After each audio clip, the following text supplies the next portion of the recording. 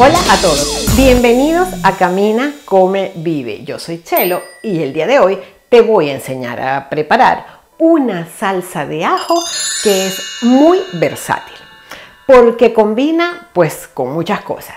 Eh, es perfecta para pescados, también te vale para carnes, pollo y no solo eso, se lo puedes agregar a tus hamburguesas, a tus sándwiches, a los perritos. Es súper versátil y también se la puedes poner así a tus empanaditas, esas que tanto te gustan. Pues nos ponemos ya mismo el delantal porque vamos a preparar una versátil y riquísima salsa de ajo, fácil y con pocos ingredientes.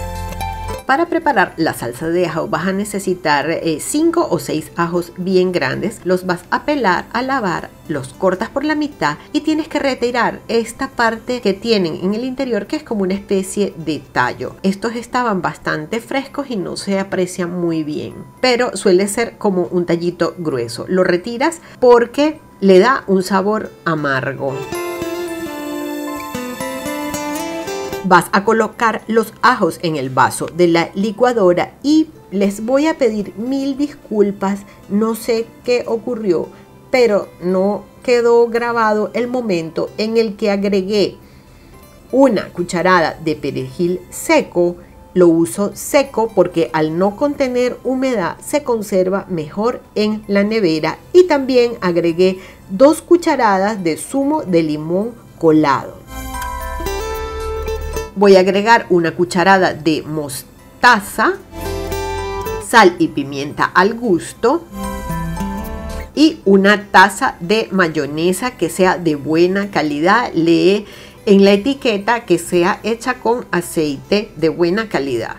Lo vas a licuar todo muy muy bien licuado hasta que las partículas de del perejil seco se vean cada vez más pequeñitas.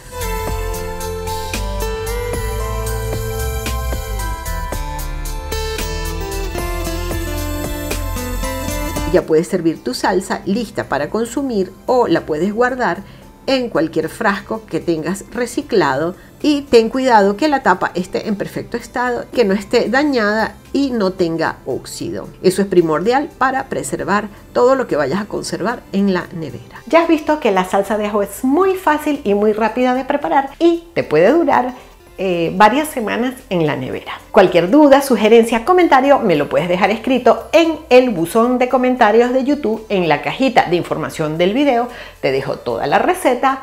Me puedes seguir por todas estas redes sociales y es importante que compartas este video con toda tu familia y amigos para que el canal pueda seguir creciendo.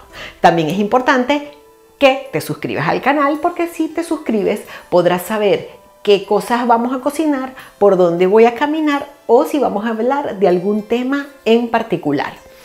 Para que te suscribas a este canal, te dejo por aquí mismo el botón de suscripción. Suscríbete ya mismo al canal.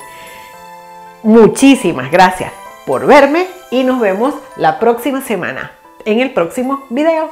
Chao.